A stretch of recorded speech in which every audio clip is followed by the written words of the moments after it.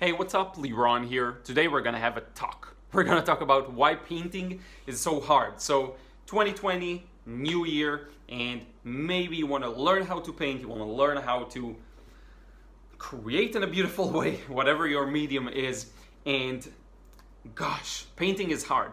And I wanna talk about why I think it's hard, and also some of the learning process and learning curve involved in that. So, first off, let's begin with why it's hard.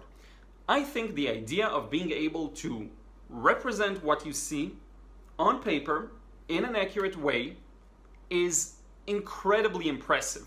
So let me give you a bit of a different angle here, a bit of a different perspective.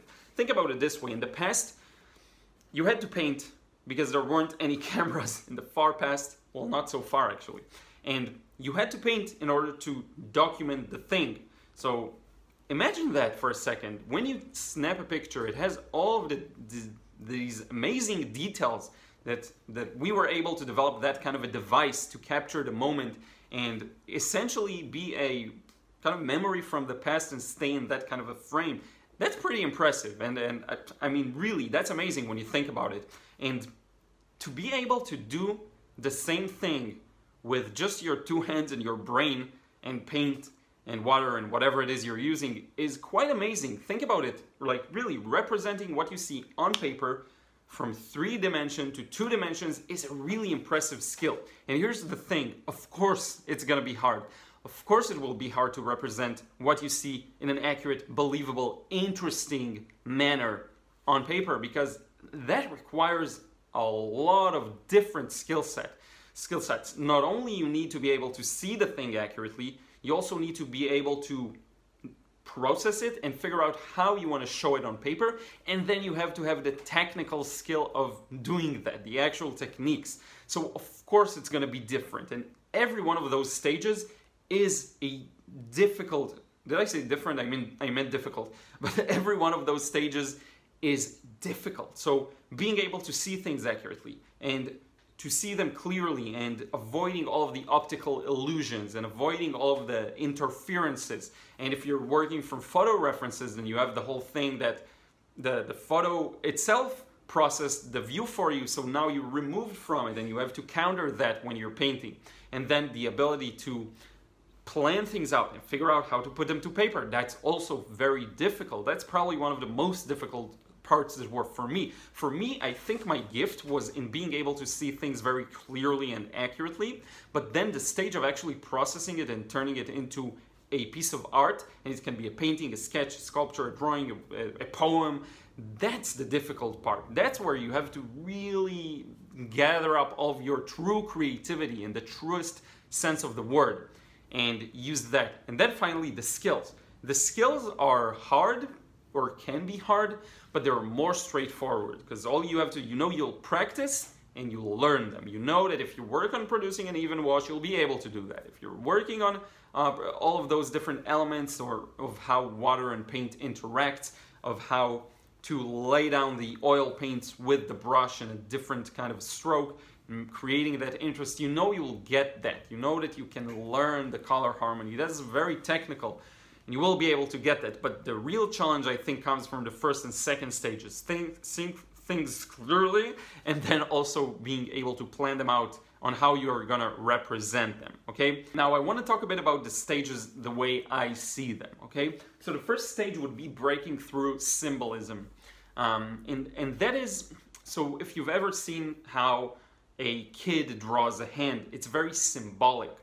The, the, the kid doesn't know that, or they do know, I don't know, but they don't know that a hand doesn't look like this, like a finger, another finger, and uh, a, there's actually a structure to it. And if you think about a real hand that looks like a kid's drawing, it's pretty shocking. Like you won't see any hands that look like that because it's a symbol. It's a simplified symbol that's easier to express. Okay. Now I'm not arguing if it's a good thing to draw and paint with symbols. I'm fine with that. A lot of people do it. A lot of different mediums do it. If you read comics, that's symbolism. Uh, a lot of it is symbolism. Disney movies is symbolism. Cars can't really speak. It's symbolism. Um, but I am saying that when you go past that, past the, the, the phase of symbolism, you're able to see things more clearly, which is a bit of a weird experience because you just see them as they are. And sometimes the way they are can be surprisingly simple to draw or sketch or paint. And it can be surprisingly different than what you expected. I know it's a bit of a weird space. If you've gone through that process, you may know what I'm talking about. Now, the next stage would be okay, so I know what it looks like truly, and I can be a machine. I can render it to look exactly as it should be if I learn the techniques enough and I work slowly and patiently. But I don't want to do that. I want to go beyond that. So I want to be able to um, create in, in a way that's not only what is there, but also how I see what is there and how it makes me feel. So it becomes an interaction between me and the subject.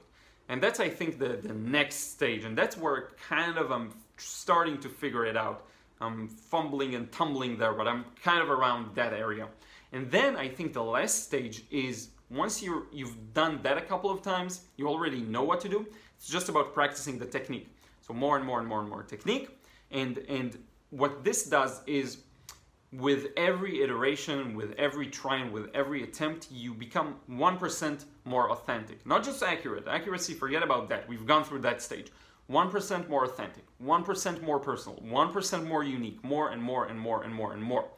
And slowly, if you do that, and, and I'm, I don't know how to fully how to do that. I'm not sure I know how to make someone more authentic in their creation. I have a couple of tips, uh, and it will depend on the person. And it's very personal, but I can say for me that I found a lot of different ways to break through the autopilot mode and doing things as I know they are supposed to be done, whether, rather than how I want to do them, which is the most important part, I think. Um, so I don't know exactly how to teach that, and maybe it's something I will figure out in the following years. I will be happy to figure that out. Maybe I'll figure out a method to do that. Um, but I will say that it is the process. So with time, your work becomes truly yours. It's no one else's, and you can see that with the best of the best the best artists and creators, you can tell it's their work of art. And it's not a gimmick. You can tell it's their work of art and it's fully their expression, which is something I want to learn how to do. I talked about it in my uh, 2020 goals video as well. It's, it's, I think, one of the biggest things I can aim for right now. Okay? So this is it. This is a rather quick video. I just want to share with you the way I see the whole um, uh, why painting is so hard and then what improving in it actually looks like, okay? Because improving in painting is not just about, you know, you learn how to control the wash better or you learn how to, uh, how colors work in harmony or even composition for that matter. It's something beyond that. It's going into the more personal, into the more unique and more individual. That's, I think, a more important part of it that um, that I'm really moving in that direction. I hope that makes sense. So uh, this is gonna be it for today. So let me know in a comment down below if that makes sense and if you feel like uh, the message uh, came through. Let me know your thoughts on it because I think everyone will see this a bit differently. So I'd be happy to hear it um, in a com comment down below. I'm reading everything, even if it takes me time to answer or I don't answer. I'm actually reading the whole thing um, because it's interesting for me the feedback. Um, and with that being said, we're to wrap it up. I hope you enjoyed this video. Don't forget to give it a thumbs up if it helped you to learn something new or anything like that. Um, and also, if you still haven't subscribed, be sure to subscribe. I have tons of new videos, a lot of these kinds of talking videos, but also painting processes and all sorts of interesting things I think you're to really enjoy. And with that, I will see you in the next video. Thank you so much. Have an amazing 2020, and we'll talk soon.